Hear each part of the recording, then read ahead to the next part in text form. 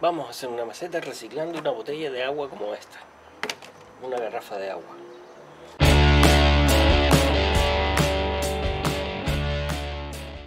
Primero hacemos los agujeros de drenaje.